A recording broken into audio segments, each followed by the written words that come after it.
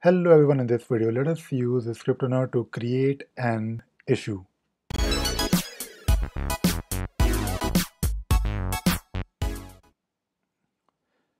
I have so far more than uh, 70 videos on uh, just Scriptrunner.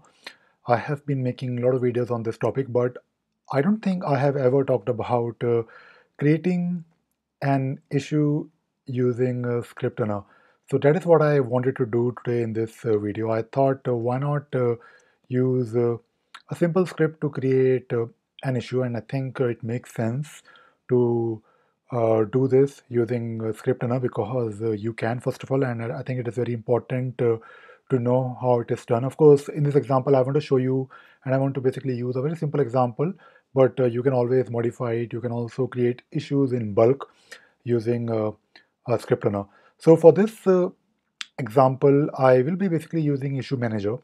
And if you have been following uh, my Scriptrunner videos, uh, I am always talking about uh, different uh, classes that will help you in uh, doing something useful and useful and of course uh, meaningful when it comes to solving problems and creating an issue uh, using a script, uh, using uh, Groovy script with the help of Scriptrunner for Jira is uh, a very valid uh, use case.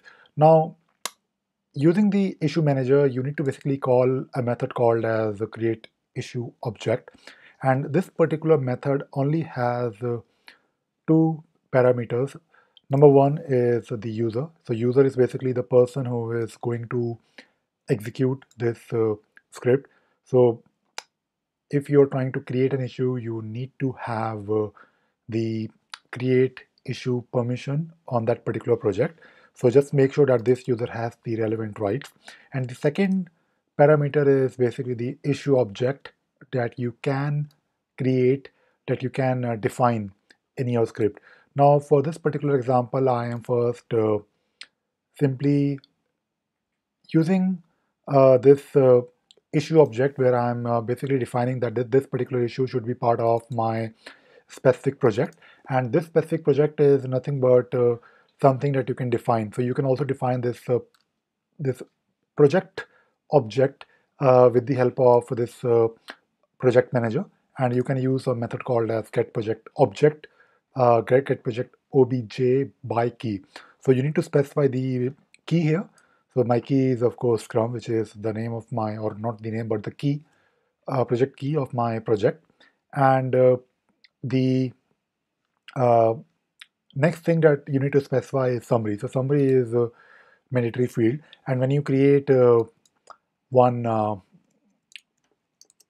one uh, issue, you need to also specify the issue type.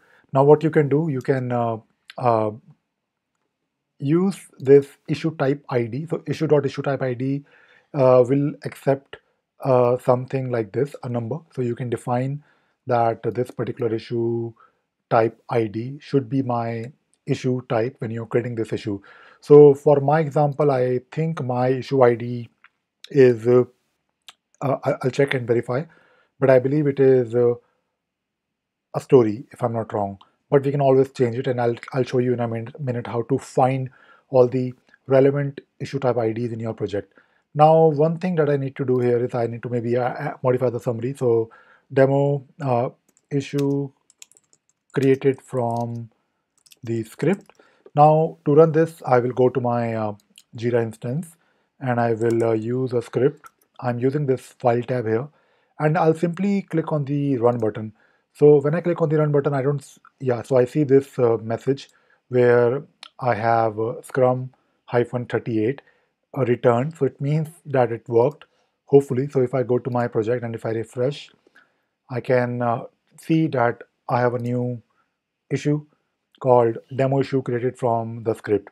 Now you can see here that the issue type is a story and uh, the issue created date is just now. So, so the script will basically pick up the uh, date, the current date, but you can also specify something like this issue dot uh, created, and you need to use a timestamp uh, to define the date.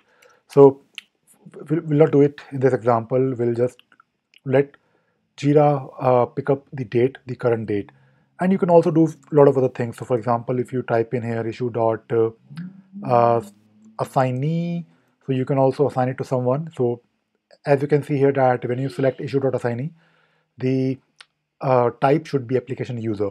So you can't just you can't just say uh, user. It has to be some uh, some some I mean the, type should be application user which is I believe user so I can do that. And just to show you how to first figure out the relevant issue types you can use the project and then you can use something like this get issue types. And uh, I'll you know first re return this. And I'll go back to the script. And if I run the script it will uh, give me a list of all the issue types in my instance. So I, it, it is of course uh, you know showing me the uh, uh, I mean it is basically the uh, list of let me just check it is a list of issue types but I need to maybe just view the or get a list of names so I can do something like this, like star. So it will basically iterate over the list and it will give me the name. And uh, if I run this again, hopefully it will give me the list. So if you look at this list, this list has task, subtask, checklist, story, bug, and epic. Now you can see here that the third last is story. So let us create a story.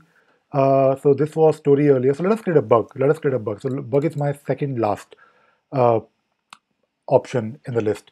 So I need, I need to first figure out the second last ID. So I can quickly do something like this, ID. So I can fetch the ID instead. And uh, if I run this, I will get this ID here, which is 10102. So I'll change it here. And let us run this script now. I'll uh, basically uh, remove this line. So the script will continue to run. And if I run this, hopefully it will work. So it says Scrum 39. If I go back to my uh, project and, and, and if I do a refresh, it will basically create one issue for me called demo, demo issue created from the script. And you can see here that uh, uh, in the previous example, the assignee was unassigned, but in this case, the assignee is my admin. So, and of course, the issue type is bug. So it's a very simple example, and I want, wanted to basically share how to create an issue because when you know how to create an issue, you can also do some uh, other uh, things like you know you can create the issue in bulk. So this is all I wanted to share in this video. I hope you enjoyed watching this video and you learned something new today. Thank you very much